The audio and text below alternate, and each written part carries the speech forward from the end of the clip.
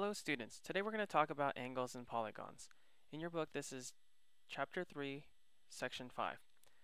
So at the end of this lesson you should be able to determine the amount of degrees in any convex regular polygon. So let's go over a quick definition which is regular polygon. Now a regular polygon is a polygon that is equiangular and equilateral and that's called a regular polygon.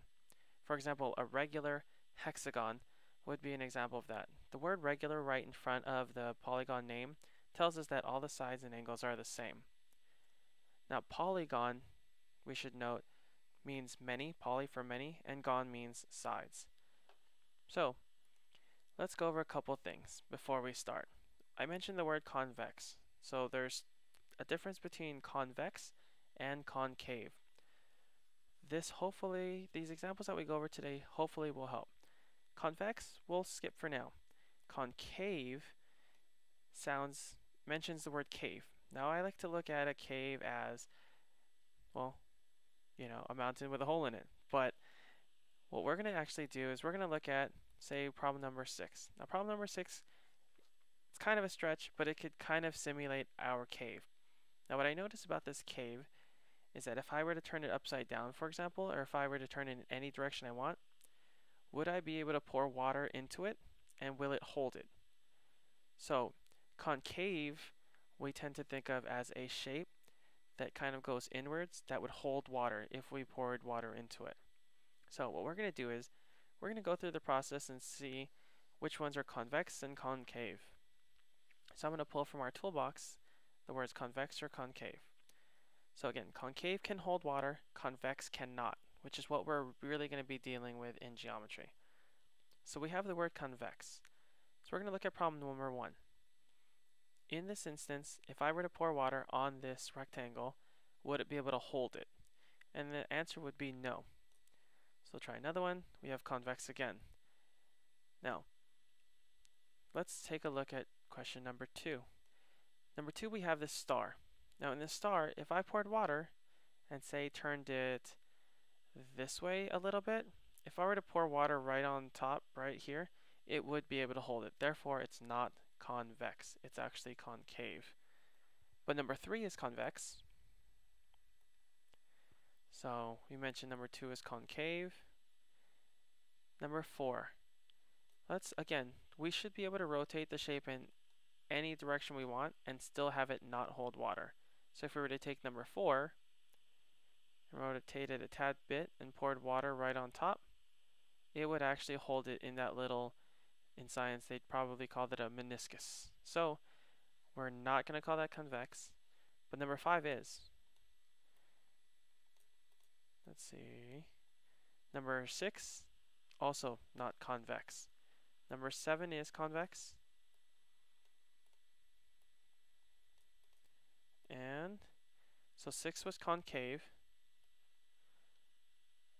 And so was number 8. So if you don't see why we call number 8 concave, it's because if we took, again, that shape and rotated it, it would be able to hold water from this angle. And 4, you saw me move over there, it's concave because it'll hold water in the corner. Because so, of we're going to deal with so many shapes, we're going to need to know the number of angles that are in there. So what we're going to try and do is help you develop a way or a method or a generalization for solving these. So I filled out a few of these for you. That says, in this triangle, there are three sides, and the triangles that are formed in here are one, because I can only make one triangle from here. The sum of the interior angles of a triangle are 180 degrees. So that should kind of give you an idea of what we're doing already. In a square, theoretically, I can have two triangles. So number of sides, there are four, obviously. The number of triangles that are in there are actually two. Because what we can do is we can connect this corner,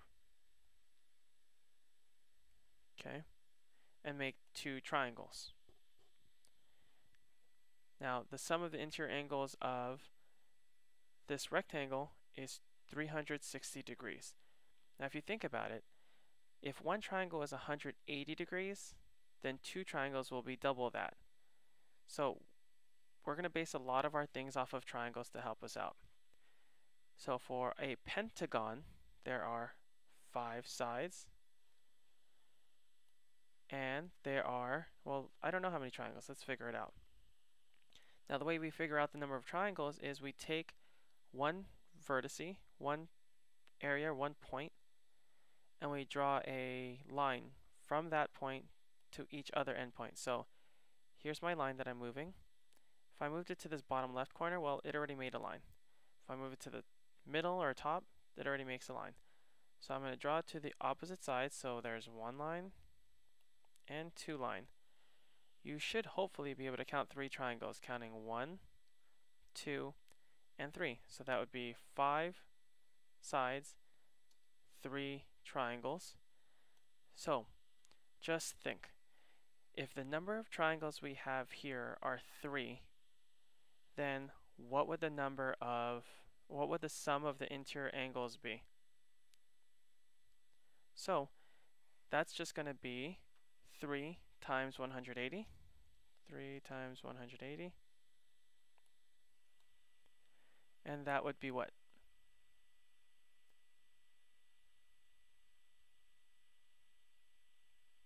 Five hundred forty degrees. So see if you can start to see a pattern as we go through the rest of this. Here we have a 1, 2, 3, 4, 5, 6. So a hexagon. We're going to say that this has six sides. It has four triangles, so let's illustrate the four triangles. I'm going to decide to pick this left-hand side point. So there's one, two, three lines, and one, two, three, four triangles. The four triangles gives us 720, um, a sum of interior angles of 720. And notice they got that because it was 4 times 180. So, try again as we keep, as we continue to do this last one, think about how the number of sides relates to the number of triangles and how the number of triangles relates to the sum of the interior angles. So for this one we have a octagon, so eight sides. And for the number of triangles, we have one, or we have, let's draw our lines first.